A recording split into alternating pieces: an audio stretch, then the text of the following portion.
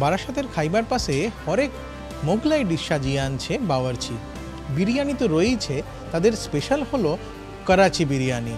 কিন্তু তার পাশেও থাকছে বিভিন্ন ধরনের তন্দুর আইটেম। তন্দুরের চিকেন তো অনেকেই খেয়ে থাকেন, কিন্তু তার পাশাপাশি যেগুলো দেখা যাচ্ছে, রয়েছে ভেটকি, রয়েছে চিংড়ি, রয়েছে পমফ্রেট। এত কিছু তন্দুরি আইটেম নিয়ে থাকছে এবারের বাবরচির স্টল। তবে তার মধ্যে আর একটা জিনিস রয়েছে যেটা আমার এই সামনে রয়েছে, এটা হলো আজগারি রোল। একা তুলতে বেশ কষ্ট করতে হবে। এটা হচ্ছে অ্যাকচুয়ালি ফ্যামিলি প্যাক একজনের পক্ষে খাওয়া এটা একদমই সম্ভব নয়।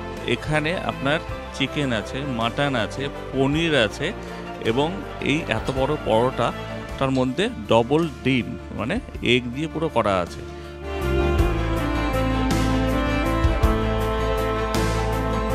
ইংরেজদের কাছে পরাজিত হয়ে নবাব ওয়াজেদ আলী শাহ চলে এলেন কলকাতার কাছে মেটিয়াবুরুজে তার হাত ধরে এদেশে এলো বিরিয়ানি। তাই আওয়াদি খানার সেরা ঠিকানা হতেই পারে খিদিরপুরের ইন্ডিয়া রেস্টুরেন্ট।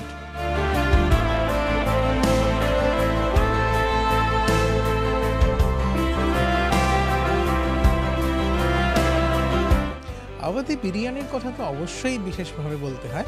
তার পাশাপাশি সে দেশের রয়েছে গলোটি কাবাব, যা কিনা মুখে দিলে মিলিয়ে যায়। তার সঙ্গে পরোটা, অবশ্যই এই দুয়ের যে মেলবন্ধন, তার স্বাদের জগতে একটা অনন্য আবিষ্কার বলা যেতে পারে।